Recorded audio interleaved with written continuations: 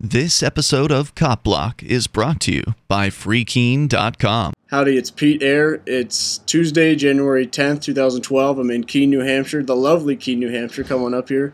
But uh, I want to make a quick video just to um, uh, put to audio the, some text that I'm going to share online on a website called Scribd, which is an excellent place. You can upload documents, share them. It has an embed code. But anyway, um, yesterday, Jan January 9th, I submitted a letter uh, in response to this notice of fine that I've received uh, a week or two ago that says that uh, I have to give 248 Federal Reserve notes to the uh, Manchester District Court.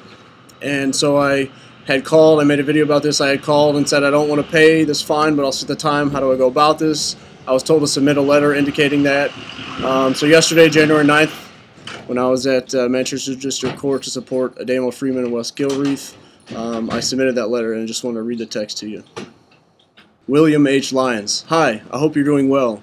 I recently received a notice of fine indicating that the court demands 248 FRNs from me for my actions outside the Manchester PD on June 4th.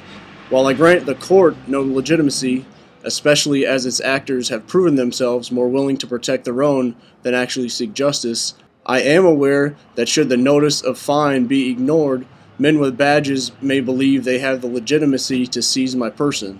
Therefore, per conversation I had with one of your colleagues at Manchester District Court, please let this letter serve as my indication that I will not fund the violence of your institution, but will sit the time in the hopes that such actions will highlight the double standard afforded to those who wear badges and thus embolden others to stand on their consciences. As this entire process is arbitrary, it rests on man made and man interpreted rules. It's not clear how this next step is to be facilitated, so when you have time, please advise me on how to proceed. I'll leave you with a few quotes in the hope that you'll find them thought provoking. Non cooperation with evil is as much a duty as cooperation with good. Gandhi. Under a government which imprisons unjustly, the true place for a just man is also prison. Thoreau. The state calls its own violence law, and that of the individual crime. Stirner. This letter was stamped received January 9th by Manchester Court. I was told I may hear something back within 10 days indicating when to show up, so we'll see what happens.